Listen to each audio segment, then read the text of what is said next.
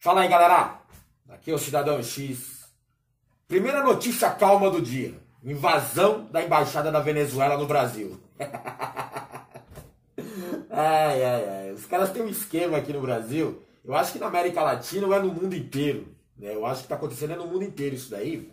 De causar uma série de incêndios né, ao mesmo tempo e deixar as vítimas presas na fumaça sem ter como reagir, cara. Eu acho que essa é a ideia dos caras. É estabelecer o caos para conseguir chegar à ordem, a ordem deles. É porque a gente fica aqui como vítima, sem saber o que está acontecendo, sem saber sobre qual incêndio é mais ameaçador. É difícil, cara. Bom, essa questão de embaixadas é uma coisa bem interessante, né, cara? Tem aquela fachada simbólica de que é um território estrangeiro em nosso próprio país. Ou seja, eles têm autonomia de ação dentro da embaixada, né, como se fosse parte de um país estrangeiro aqui dentro. Eles podem fazer o que quiser, de acordo com suas leis, suas culturas. Só que não é bem assim como a gente imagina, tá? É, tem algumas regras a seguir, né, tem alguns critérios a serem observados, como por exemplo, né, a partir da, do portão de entrada de uma embaixada, dependendo de um acordo, né, a segurança interna é da própria nação responsável pela embaixada. Só que a parte externa é de responsabilidade do país anfitrião.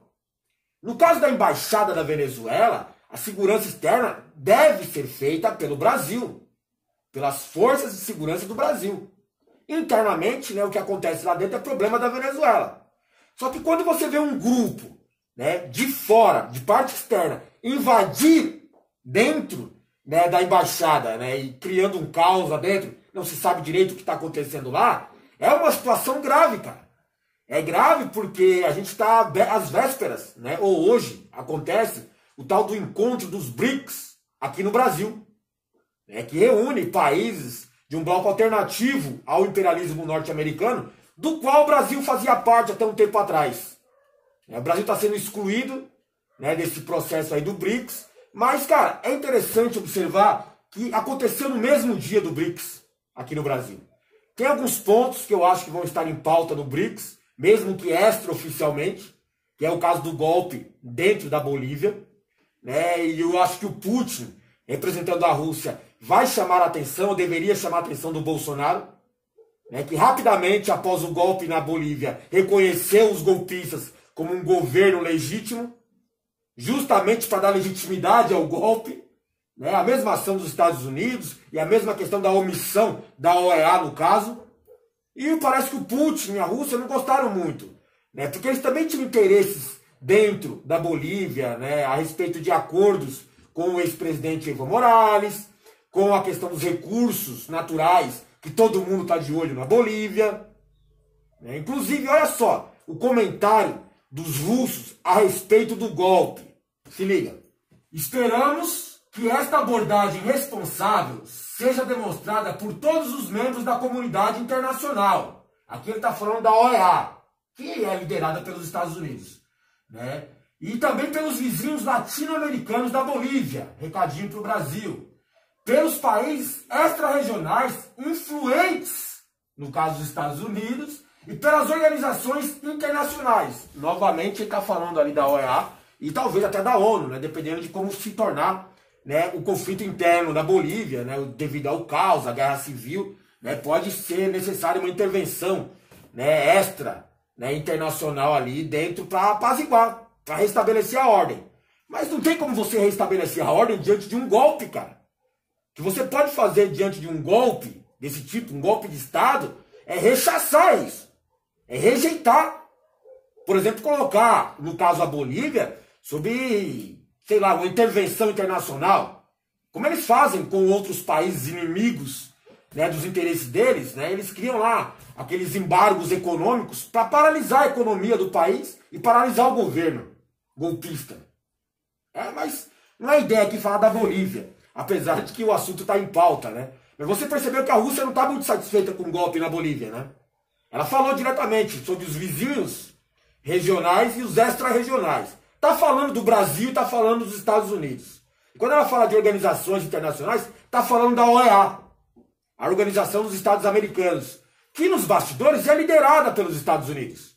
Então não tem uma certa autonomia, não é um conjunto, é uma ordem que inclui todos os países, né? Com autonomia de ação, para se autoajudarem, para se autoprotegerem. Não tem nada a ver com isso.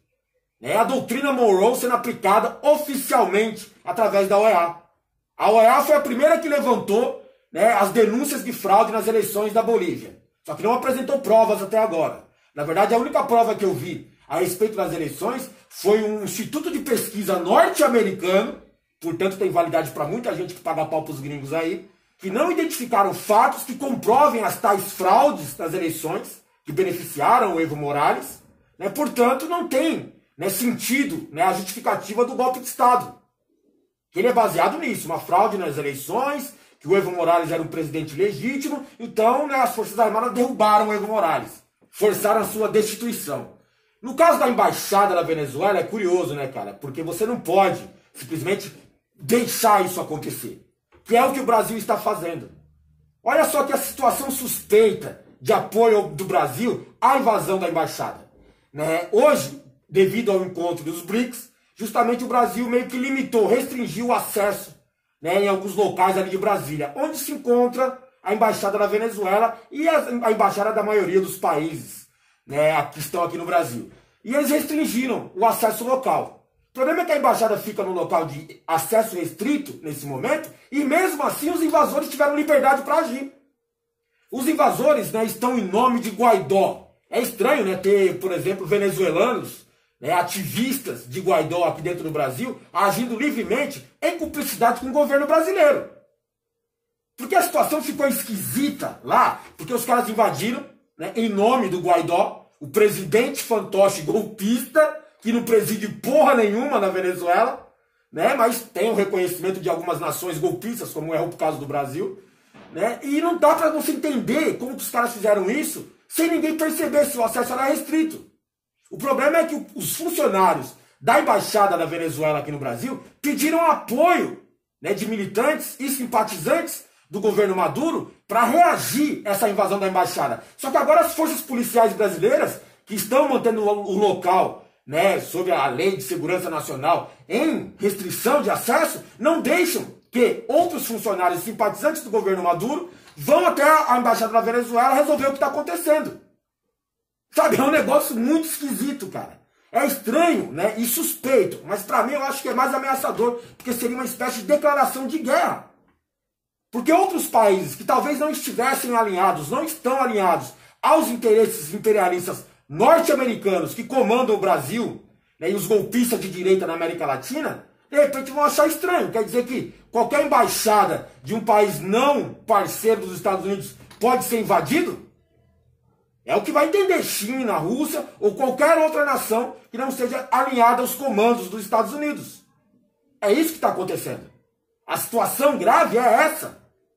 Não adianta falar, ah, são os próprios venezuelanos tretando entre eles, né? O pessoal do Guaidó, que é o presidente, o presidente legítimo e ilegítimo, né? brigando com Maduro, né? O pessoal abriu o portão para eles entrarem. Tem várias acusações fake news, muita mentira para distorcer o que aconteceu ali. O que acontece é que a embaixada pertence ao governo da Venezuela, correto?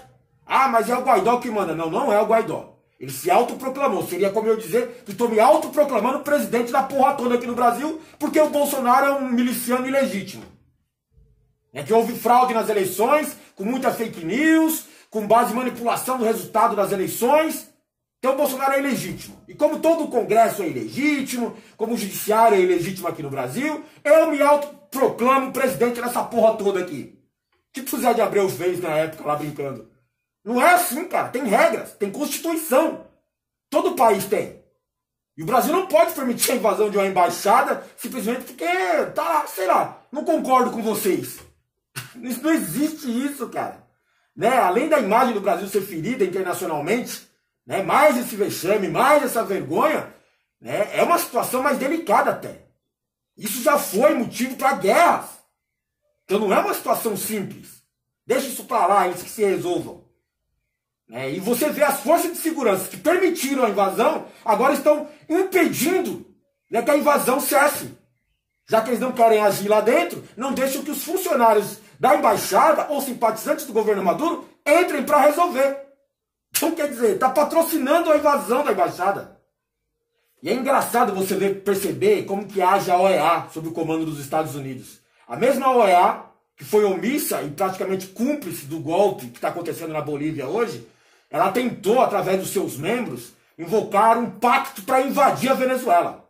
Eles já tinham criado o Grupo de Lima né, para tratar da invasão, não deu muito certo, né, porque não tem aquele amparo legal para invadir outro país, sendo uma declaração de guerra, mesmo com as justificativas que é para manter a ordem, para salvar o povo, tudo mentira. Eles queriam invadir a Venezuela a mando dos Estados Unidos, que não tem coragem de meter o pé lá com os russos e os chineses lá dentro. Então eles queriam mandar os seus capachos, seus capangas, né?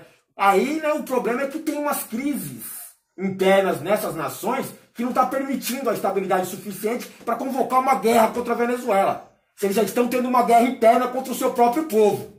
Então não dá certo, não é fácil. Mas o Brasil estava louquinho para invadir a Venezuela, para meter uma guerra lá.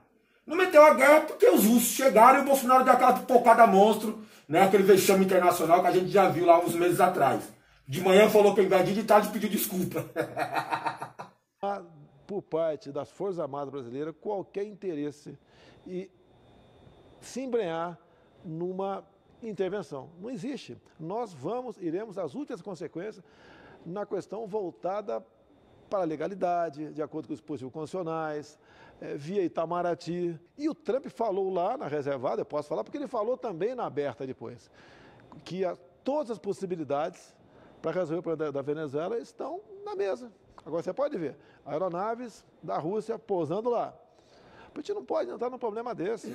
Mas a OEA né, tentou, ali, pelo menos os países membros da OEA tentaram invocar até um pacto.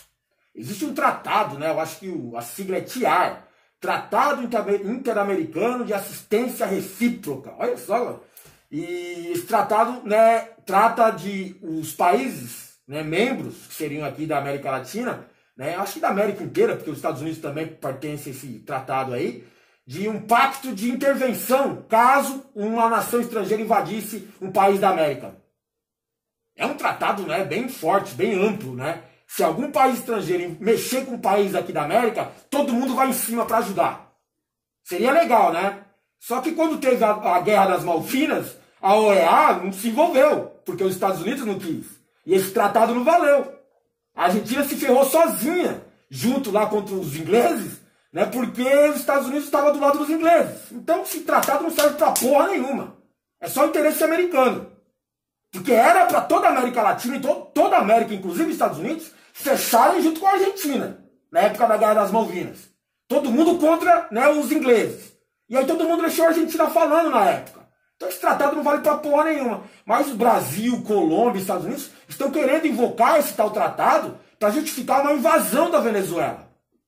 Porque eles precisam de amparo legal né, para não criar uma atrito internacional, por exemplo, com Rússia e China. Percebe né, a sacanagem envolvida em todo o processo? A OEA nada mais é que um escritório dos Estados Unidos. Né, seria a CIA oficial dos Estados Unidos, mais ou menos isso. É que a CIA tem outras linhas de ações aí mais obscuras. Então vamos acompanhar o desenrolar dessa história da invasão da embaixada, vamos acompanhar como o Bolsonaro vai reagir diante do Putin. Mas eu confesso para vocês que eu queria muito ver o Bolsonaro, capitão do exército, machão, chegar na reunião dos BRICS, meter o pé no peito, meter pelo menos a mão no peito do Putin e falar quem manda na Bolívia aqui é nós. Não se mete aqui não. Aqui é eu, meu parceiro Trump, e já era para vocês aqui, mano. E é o seguinte, tô fora dessa porra desse BRICS aí também. E se vocês vierem aqui de novo, nós vamos invocar a OEA, invadir a porra da Europa inteira, invadir a Rússia, invadir a China. Não gosto de comunista, odeio ditadura de esquerda. Né? Esses são meus inimigos agora. Eu queria ver o capitão fazer isso. Queria ver se ele é macho mesmo. Fazer discursinho aí no meio dos bolsominions é fácil. Né? Ficar na rede social teclando lá e falando merda, pô, isso é simples. Quero ver na reunião oficial falar isso na cara do Putin, do Xi Jinping. É um bundão, caralho. Eu duvido, mano. Valeu. Mas eu queria ver só pra ver a treta depois. Valeu. Calma, galera. Eu voltei aqui rapidinho, porque eu tinha encerrado já a gravação, já tava editando o vídeo. E aí eu vi mais uma notícia que pra mim é uma bomba. Pelo menos eu acho que merece um alerta né, e um destaque melhor. Né, eu não noticiei aqui no meu vídeo que o Brasil apoiava oficialmente a invasão da embaixada da Venezuela. Ele só tava dando meio que uma de cúmplice, né? Dando uma ajudinha, né? Cercando o prédio, não deixando ninguém retirar os invasores.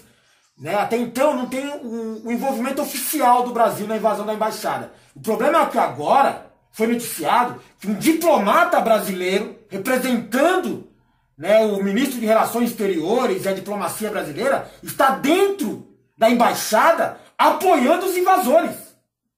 O governo brasileiro tem um representante oficial dentro de uma invasão de uma embaixada estrangeira aqui, cara. Isso é ato de guerra. Isso é absurdo. Alguém tem que resolver esse problema aí, alguém tem que fazer alguma coisa. Né? É declaração de guerra oficial. Você tem noção da gravidade dessa ação? O governo brasileiro oficialmente né, compactuando com uma invasão de uma embaixada, inclusive ativamente enviando diplomatas para dentro da invasão para participar do movimento. Eu não quis declarar para vocês que tinha o envolvimento de milicianos, envolvimento de bolsonaristas, a extrema-direita brasileira, porque as informações são desencontradas. Agora é oficial. O diplomata brasileiro, representante do Itamaraty, está dentro da invasão, junto com os invasores. É maravilhoso, né, ser brasileiro, né, cara, desse momento? Caramba! que coisa maluca, mano! Valeu!